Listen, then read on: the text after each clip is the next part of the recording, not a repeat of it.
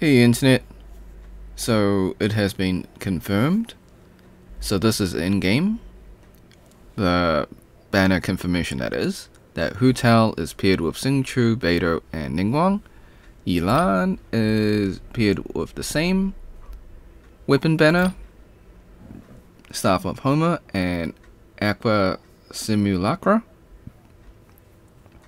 We got a Rust, Favonius Sword, Codex, Dragon's Bane, Lithic Great Sword, Lithic Blade. Okay.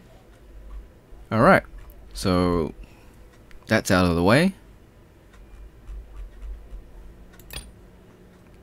Okay, so your weekly login or your 7 day login for your 10 fates, which I need because I got no wishes right now. And yeah, I'm pulling for Yelan. I already got Hu Tao.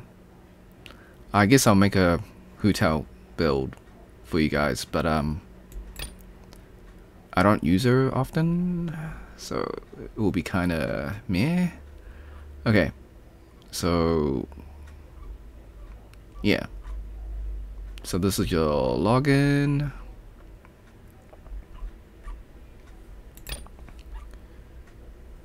Okay. This is the crown event. So here's the uh, requirements. You got your TCG. The Lisa skin. Okay. You got like another that what is it called? It's like that hot something starts with an H. I forget what it is, but it's the one where you swap your teams. So that's a fun one.